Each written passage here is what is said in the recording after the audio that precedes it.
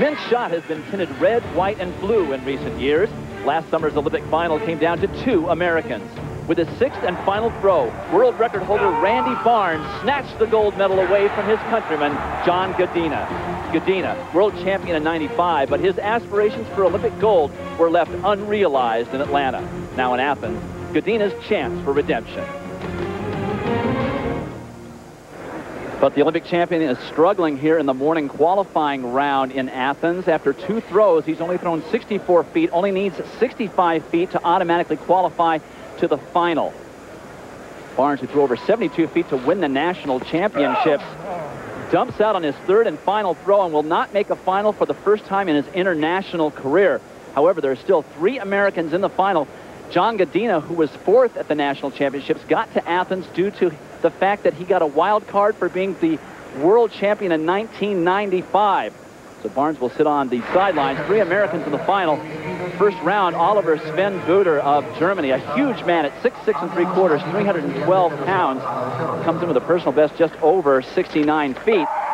And the first round, he pops one out near the 21 meter line 68 two and a half for the big German, who was fifth at last year's Olympics. Now, John Godina, again, so happy that the wild card happened and allowed him to come to Athens. He was the silver medalist last year in Atlanta, employing that spin technique that makes him a good discus thrower as well, and he pops one early, well over the 21-meter mark, 70 feet, two and a quarter, and his coach, Art Venegas, been his coach since UCLA, telling him exactly what he needs to do to stay in command. Godina, an excellent technician, for being such a big guy, 6'4", 290. Gets around that ring real well. 70 feet on the very first throw bodes well for the remainder of the competition for Big John. So results after the first two rounds of the men's shot put final, Godina leading with Buder second, the scary Bagach third. He was also the bronze medalist last year in Atlanta. Back for round three, the shot put, and the disappointment of Atlanta still weighs on John Godina's mind.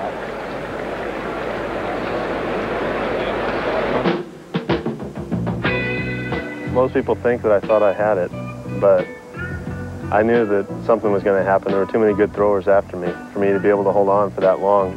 When just one did, and that was Randy, I, I was really uh, less than happy with myself just because I knew that I hadn't done my best for the whole year. I was shocked after it happened.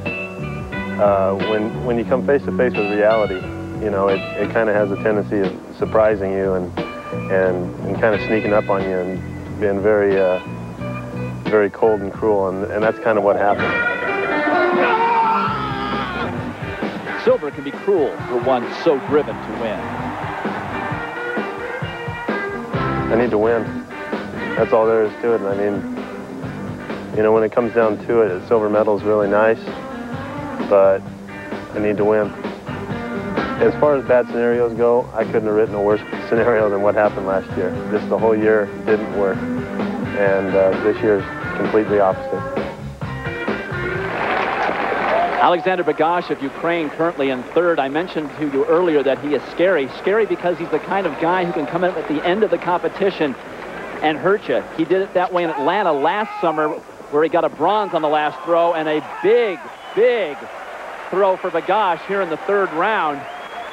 30 years old, 6'4", 297 pounds, and that's well over 21 meters. Bagach, a big guy, 30 years old. You see that knee that's strapped, uses the standard O'Brien technique, the glide, but gets all of that weight and all of that strength behind the ball. 70 feet five and a quarter for Bagach and into the lead. That matches his all-time personal best. So John Godina has the lead snatch, but early this time he had the snatch. Barnes waited to the last throw of the competition. Godina still has some chances to get back into it. This his third round throw.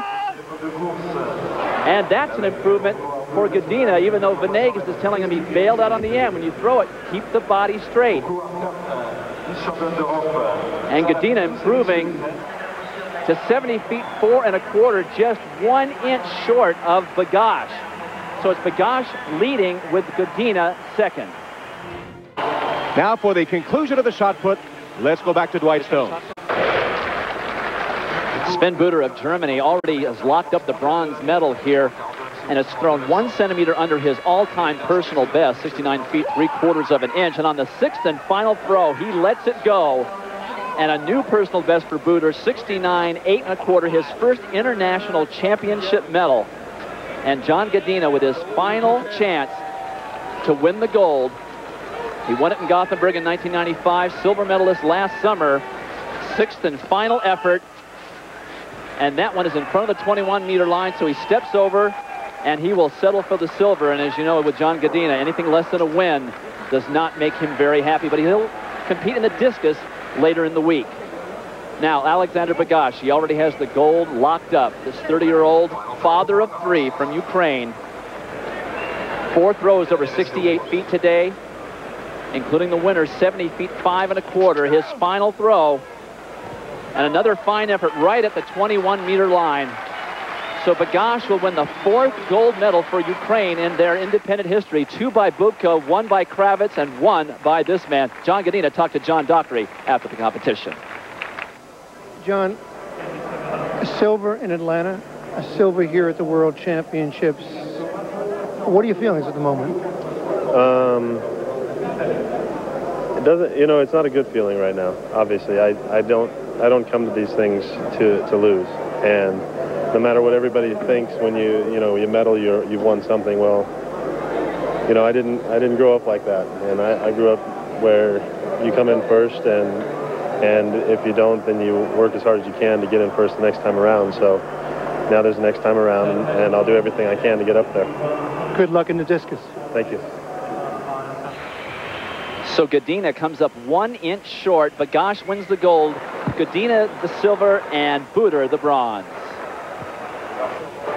And Bagach, the first day of competition is in the books here in Athens, and John Godina becomes the first medal winner for the United States. Now, if you